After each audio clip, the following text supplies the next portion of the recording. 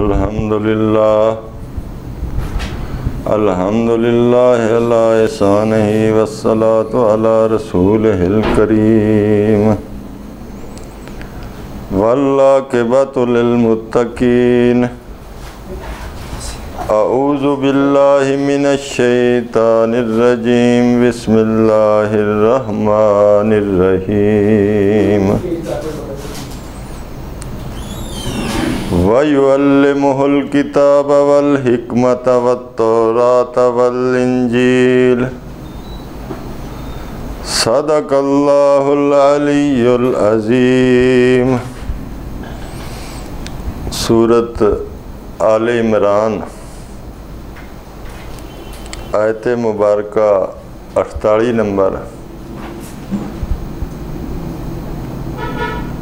حضرات ਇੱਕ ਬਾਤ ਜ਼ਿੰਦ ਵਿੱਚ ਰੱਖ ਲਓ ਕਿ ਦੁਨੀਆ ਦੇ ਵਿੱਚ ਸ਼ਿਰਕ ਦੀ ਇਬਤਦਾ ਵੀ ਜਿਹੜੀ ਹੋਈ ਹੈ, ਉਹ ਔਲੀਆ ਅੱਲਾ ਦੇ ਬਾਰੇ ਗਲੂਬ ਤੋਂ ਹੋਈ ਹੈ। ਔਲੀਆ ਅੱਲਾ ਦੀ ਸ਼ਾਨ। ਇਸ ਹੱਦ ਤੱਕ ਪਹੁੰਚਾ ਦੇਣਾ ਕਿ ਉਹਨਾਂ ਨੂੰ ਉਲੂਹੀਅਤ ਦੇ ਮਰਤਬੇ ਤੇ ਬਿਠਾ ਦੇਣਾ। ਇਹ ਹਜ਼ਰਤ ਨੂਹ ਅਲੈਹਿਸਲਾਤੁ ਵਸਲਾਮ ਦੀ ਕੌਮ ਤੋਂ ਲੈ ਕੇ ਅੱਜ ਤੱਕ ਇਹ ਸਾਰੇ ਜਿੰਨੇ ਵੀ ਅੱਲਾਹ ਪਾਕ ਦੇ ਨਾਲ ਸ਼ਿਰਕ ਕਰਦੇ ਨੇ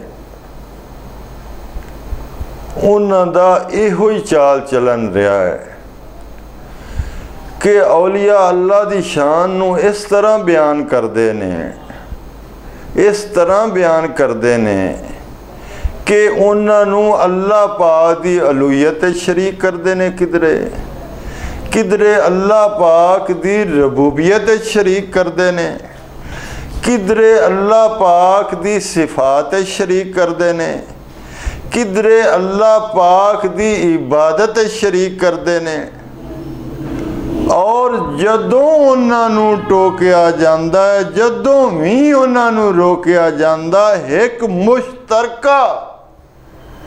ਬਾਤ ਜਿਹੜੀ ਖੁੱਲ ਕੇ ਕੁਰਾਨ, ਖੋਲ ਕੇ ਬਿਆਨ ਫਰਮਾਂਦਾ ਹੈ, ਉਹ ਕੀ ਬਿਆਨ ਫਰਮਾਂਦਾ ਹੈ ਕਿ ਇਹ ਲੋਗ ਅੱਲਾ ਪਾਕ ਜਿਹੜੇ ਮੁਜਜ਼ਾਤ ਉਹਨਾਂ ਨੂੰ عطا ਕਰਦਾ ਹੈ ਉਹਨਾਂ ਦਾ ਗਲਤ ਮਕਸਦ ਬਿਆਨ ਕਰਦੇ ਨੇ ਮੁਜਜ਼ਾਤ ਦਾ ਮਕਸਦ ਨਹੀਂ ਸਮਝ ਸਕਦੇ ਕਿ ਮੁਜਜ਼ਾਤ ਦਾ ਮਕਸਦ ਕੀ ਹੈ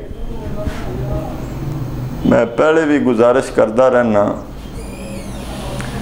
ਕਿ ਇਸ ਵਕਤ ਈਸਾਈਆਂ ਦੀ ਦੁਨੀਆ ਤੇ ਕੁੱਲ ਆਬਾਦੀ 40% ਈਸਾਈ ਆਬਾਦ ਨੇ ਔਰ ਹਾਲਤ ਇਹ ਕਿ ਉਹ ਹਜ਼ਰਤ ਈਸਾ ਅਲੈਹਿਸਲਾਮ ਨੂੰ ਆਪਣਾ ਖੁਦਾ ਸਮਝਦੇ ਨੇ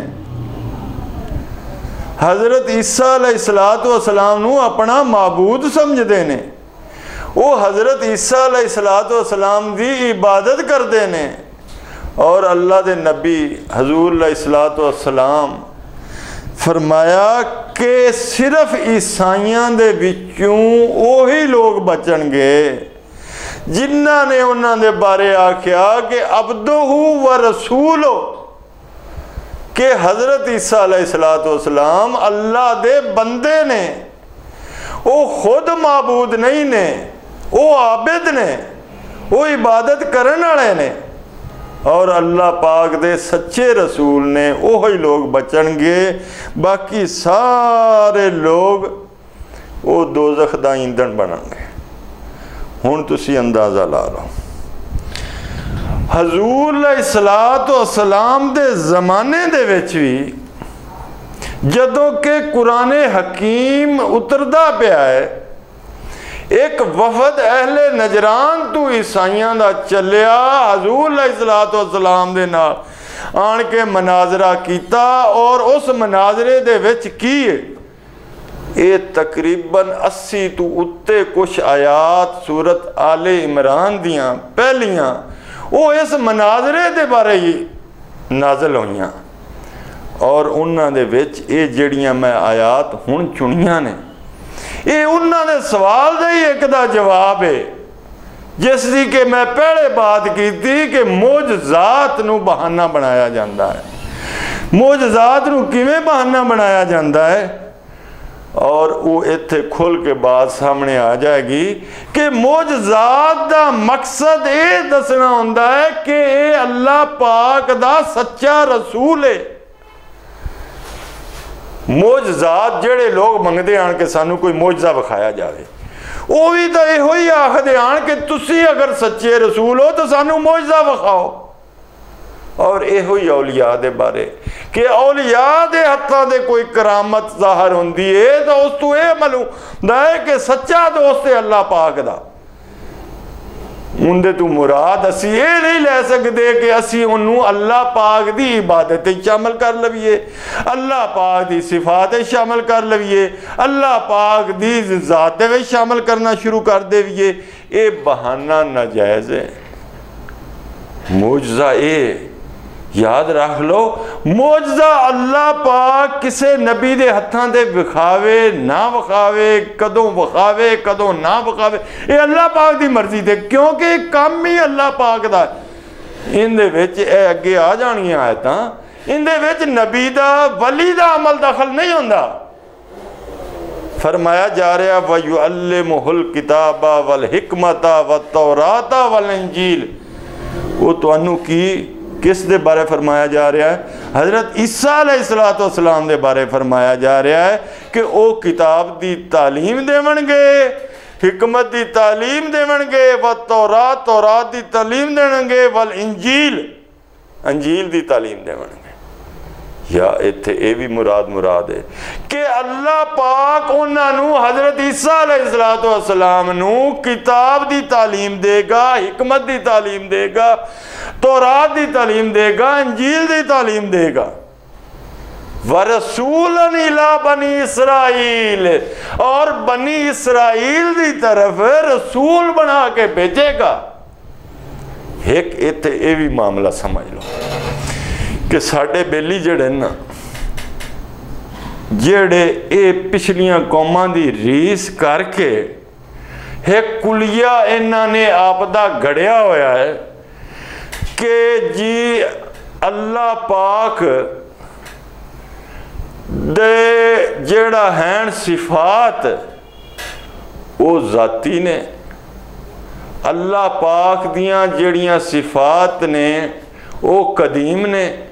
ਅੱਲਾਹ ਪਾਕ ਦੀਆਂ ਸਿਫਾਤ ਜਿਹੜੀਆਂ ਨੇ, ਉਹ ਲਾ ਮਹਦੂਦ ਨੇ। ਅਗਰ ਇਸ ਦੇ ਉਲਟ ਸਮਝਿਆ ਜਾਵੇ, ਤੇ ਫਿਰ ਸ਼ਿਰਕ ਨਹੀਂ ਬਣਦਾ। ਉਲਟ ਕਿਵੇਂ ਸਮਝਦੇ ਨੇ? ਉਹ ਆਖਦੇ ਨੇ ਜੀ ਅਗਰ ਅੰਬਿਆ ਦੇ ਵਿੱਚ, ਔਲੀਆ ਦੇ ਵਿੱਚ ਕਿ ਇਹ ਸਮਝਿਆ ਜਾਵੇ ਕਿ ਇਹਨਾਂ ਦੀਆਂ ਸਿਫਾਤ ਜਿਹੜੀਆਂ ਨੇ ਉਹ ਅਤਾਈ ਨੇ। ਇਹਨਾਂ ਦੀਆਂ ਸਿਫਾਤ ਮਹਦੂਦ ਨੇ ਲਾ ਮਹਦੂਦ ਨਹੀਂ ਨੇ। ਇਹਨਾਂ ਦੀਆਂ ਸਿਫਾਤ ਨਿਕਲੀਆਂ ਹੋਈਆਂ ਨੇ, ਨਵੀਆਂ ਨੇ ਤੇ ਫਿਰ ਸ਼ਿਰਕ ਨਹੀਂ ਬਣਦਾ। ਤੁਸੀਂ ਅੰਦਾਜ਼ਾ ਲਾ ਲਓ, ਇਹ ਇਸ ਕਦਰ ਧੋਖੇ ਵਾਲਾ ਇਹ ਨੁਕਤਾ ਬਿਆਨ ਕਰਦੇ ਨੇ, ਧੋਖੇ ਵਾਲਾ ਕੁਲੀਆ ਬਿਆਨ ਕਰਦੇ ਨੇ, ਇੱਥੇ ਹੁਣ ਕੀ ਫਰਮਾਇਆ ਜਾ ਰਿਹਾ? ਵਰਸੂਲ ਲਾਨੀ ਲਾ ਬਨੀ ਇਸਰਾਇਲ ਰਸੂਲ ਬਣਾ ਕੇ ਬਨੀ ਇਸਰਾਇਲ ਅਤਾਈ ਹੋਣਗੇ। ਜ਼ਾਤੀ ਨਹੀਂ ਹੈ ਔਰ ਤੁਸੀਂ ਅੱਜ ਵੀ ਵੇਖ ਲਓ, ਕਿਸੇ ਈਸਾਈ ਨੂੰ ਪੁੱਛ ਲਓ, ਉਹ ਆਖਣਗੇ, ਅਤਾ ਕੀਤੀ ਅਲੂਹੀਅਤ। ਅਤਾ ਕੀਤੀ ਤਾਕਤ। ਉਹਨਾਂ ਨੂੰ ਬੇਟਾ ਬਣਾਇਆ। ਉਹ ਅਤਾਈ ਨੇ, ਉਹ ਜ਼ਾਤੀ ਨਹੀਂ ਨੇ। ਤੁਸੀਂ ਅੰਦਾਜ਼ਾ ਲਾ ਲਓ। ਮੈਂ ਇਹ ਪਹਿਲੇ ਆਖਣਾ ਕਿ ਜਿੰਨਾ ਚਿੱਕਰ ਅਸੀਂ ਸ਼ਿਰਕ ਨੂੰ ਨਹੀਂ ਸਮਝਾਂਗੇ, ਪੁਰਾਣੀ ਕੌਮਾਂ ਦਾ ਸ਼ਿਰਕ ਸਾਹਮਣੇ ਨਹੀਂ ਲਿਆਵਾਂਗੇ, ਉਹਨਾਂ ਚਿੱਕਰ ਸਾਨੂੰ ਸ਼ਿਰਕ ਨਹੀਂ ਸਮਝ ਲੱਗਣ ਲੱਗੀ।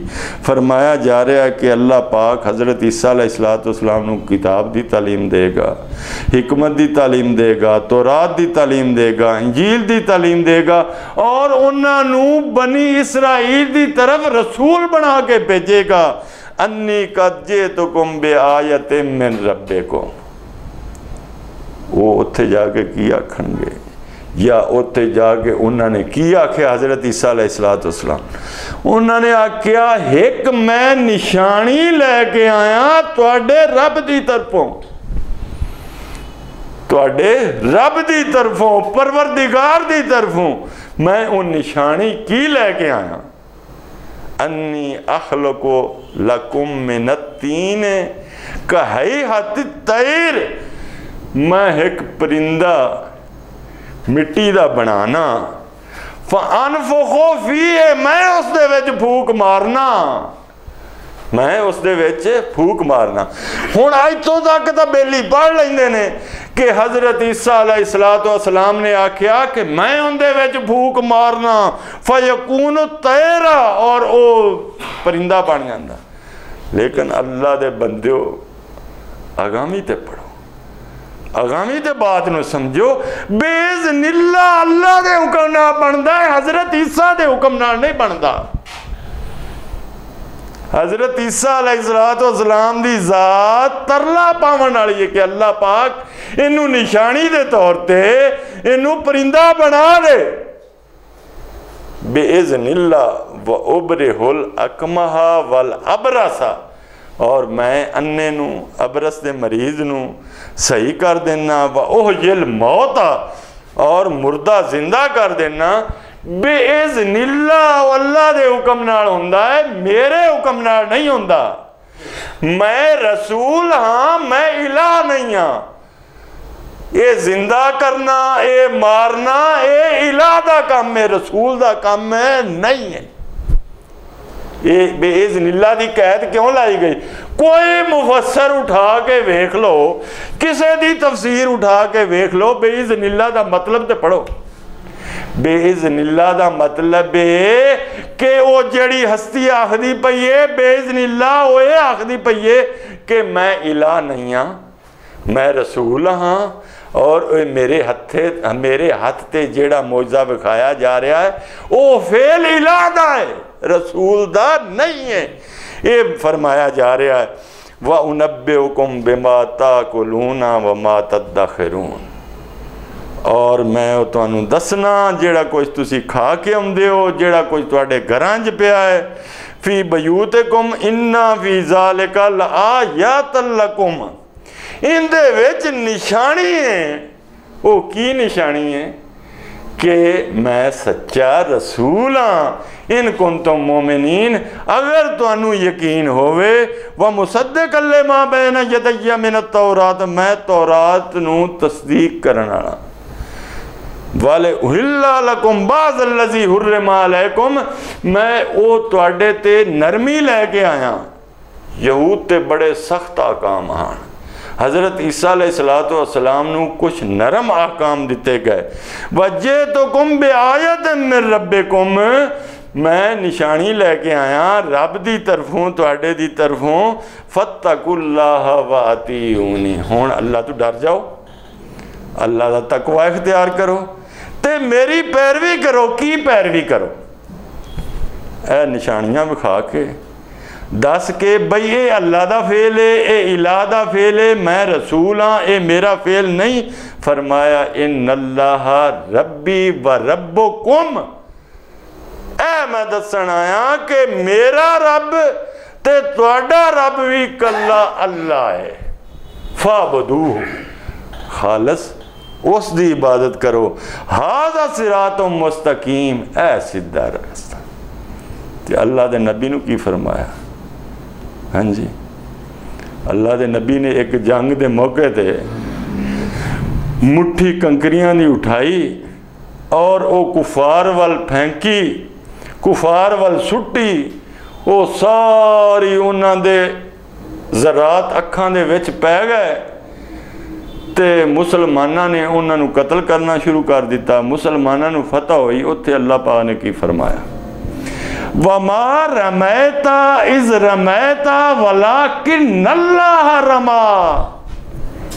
ਐ ਨਬੀ, ਉਹ ਤੁਸੀਂ ਸੁੱਟੀ ਨਹੀਂ ਵਮਾ ਰਮੈਤਾ, ਵਲਾਕਿਨ ਅੱਲਾਹ ਰਮਾ। ਅੱਲਾਹ ਨੇ ਸੁੱਟੀ از رمیتا وما رمیتا از رمیتا، ولیکن اللہ رما اللہ نے سٹی۔ اللہ نے کنکریاں سٹن دی فیل دی نسبت اپنے وال کی تھی یاد رکھ لو موجزے دی نسبت اللہ وال۔ اور موجزے دی نسبت اولیاء وال نہیں کرنی، انبیاء وال نہیں کرنی ہے متفقہ فیصلہ مسلمان پھر پچھے کی بہانہ رہ گیا ساڑے کو؟ ਇਹ ਜਿਹੜਾ ਬਹਾਨਾ ਹਾ ਹਜ਼ੂਰ ਅਲੈਹ ਸਲਾਤੁ ਵਸਲਾਮ ਉਹਨਾਂ ਨੂੰ ਆਖਿਆ, ਉਹਨਾਂ ਦੇ ਉਲਮਾ ਨੂੰ ਜਿਹੜੇ ਆਏ, ਉਹ ਵਫਦ ਨਜਰਾਨ ਦੇ ਵਿੱਚ, ਬਈ ਇਹ ਤੁਸੀਂ ਦੱਸੋ, ਬਈ ਹਜ਼ਰਤ ਈਸਾ ਅਲੈਹ ਸਲਾਤੁ ਵਸਲਾਮ ਦੀ ਉਲੂਹੀਅਤ ਤੇ ਬਾਤ ਹੁੰਦੀ ਪਈ ਆਈ ਨਾ? ਬਈ ਉਹ ਕਿਵੇਂ ਖੁਦਾ ਬਣ ਗਏ? ਉਹਨਾਂ ਆਖਿਆ ਜੀ, ਹਜ਼ਰਤ ਈਸਾ ਅਲੈਹ ਸਲਾਤੁ ਵਸਲਾਮ ਮੁਰਦਾ ਜ਼ਿੰਦਾ ਕਰ ਲੈਂਦੇ ਆ। ਹਜ਼ਰਤ ਈਸਾ ਅਲੈਹ ਸਲਾਤੁ ਵਸਲਾਮ ਜਿਹੜੇ ਹਨ ਉਹ ਅੰਨੇ ਨੂੰ ਸੁਜਾਖਾ ਕਰ ਦਿੰਦੇ ਆ। ਹਜ਼ਰਤ ਈਸਾ ਅਲੈਹ ਸਲਾਤੁ ਵਸਲਾਮ ਕੋੜੀ ਦੇ ਮਰਜ਼ ਵਾਲੇ ਨੂੰ ਸਹੀ ਕਰ ਦਿੰਦੇ ਆ। ਅੱਲਾਹ ਪਾਕ ਨੇ ਆਖਿਆ ਅੱਲਾਹ ਦੇ ਨਬੀ ਨੇ ਆਖਿਆ, ਬਿਲਕੁਲ ਉਹ ਸਹੀ ਕਰਦੇ ਆ। ਅੱਲਾ ਨੇ ਇਸ ਦੀ ਤਸਦੀਕ ਫਰਮਾਈ ਕਿ ਉਹ ਮੌਜਜ਼ਾਤ ਹਨ, ਉਹ ਮੈਂ ਅਤਾ ਕੀਤੇ ਹਨ, ਉਹ ਮੇਰਾ ਫੇਲ ਆ ਮੈਂ ਇਲਾ। ਔਰ ਉਹਨਾਂ ਦੀ ਨਫੀ ਕੀਤੀ, ਲੇਕਿਨ ਬਦਕਿਸਮਤੀ ਹੈ ਕਿ ਜਦੋਂ ਵੀ ਤੁਸੀਂ ਕਿਸੇ ਦੇ ਨਾਲ ਬਾਤ ਕਰੋਗੇ, ਕਿਸੇ ਨੂੰ ਤੋਹੀਦ ਤੇ ਸ਼ਿਰਕ ਦੀ ਬਾਤ ਸਮਝਾਉਣ ਦੀ ਕੋਸ਼ਿਸ਼ ਕਰੋਗੇ, ਉਹ ਆਖੇਗਾ, ਇਹੋ ਹੀ ਹੁੰਦਾ ਸਵਾਲ। ਕਿ ਫਲਾਂ ਸਰਕਾਰ ਇੰਜ ਕਰ ਲੈਂਦੀ ਏ, ਫਲਾਂ ਸਰਕਾਰ ਇੰਜ ਕਰ ਲੈਂਦੀ ਏ, ਫਲਾਂ ਸਰਕਾਰ ਇੰਜ ਕਰ ਲੈਂਦੀ ਏ। ਇਸ ਲਈ ਉੱਥੇ ਜਾ ਕੇ ਅਸੀਂ ਨਿਆਜ਼ਾਂ ਦਿੰਨੇ ਆ ਉੱਥੇ ਜਾ ਕੇ ਮੇਲੇ ਲਾਣੇ ਹਾਂ। ਹਾਂਜੀ, ਇਸ ਲਈ ਉੱਥੇ ਜਾ ਕੇ ਦੁਆਵਾਂ ਮੰਗਦੇ ਆ ਹੁਣ ਅੰਦਾਜ਼ਾ ਲਾ ਲਓ, ਇਹ ਸਾਰੀਆਂ ਚੀਜ਼ਾਂ ਅੱਲਾਹ ਪਾਕ ਦੀ ਇਬਾਦਤ ਵਿੱਚ ਨੇ। ਔਰ ਅੱਲਾ ਦੇ ਨਬੀ ਹਜ਼ਰਤ ਈਸਾ ਅਲੈਹਿਸਲਾਮ ਨੇ ਕਿਸ ਤਰ੍ਹਾਂ ਬਾਤ ਖੋਲ ਕੇ ਸਮਝਾਈ ਔਰ ਈਸਾਈਆਂ ਨੇ ਉਸ ਨੂੰ ਕਿਸ ਤਰ੍ਹਾਂ ਲਿਆ? ਔਰ ਅੱਜ ਸਾਡੇ ਵੀ ਕਈ ਬੇਲੀ ਵੇਖ ਲੋ ਕਿ ਇਸੇ ਤਰ੍ਹਾਂ ਜਿਹੜੀ ਕਰਾਮਾਤ ਨੇ, ਉਹਨਾਂ ਦਾ ਕਿਸ ਤਰ੍ਹਾਂ ਗਲਤ ਮਤਲਬ ਲੈ ਕੇ ਅੱਲਾ ਪਾਕ ਦੀ ਅਲੂਹੀਅਤ ਨੂੰ ਅੱਲਾ ਪਾਕ ਦੀ ਇਬਾਦਤ ਦੇ ਵਿੱਚ غیر نو شریک کرتے ہیں اللہ پاک اس وبال تو ساری جان چھڑاوے اور دنیا نو صحیح سمجھن دی توفیق عطا فرماوے۔ واخر دعوانان الحمدللہ رب العالمین۔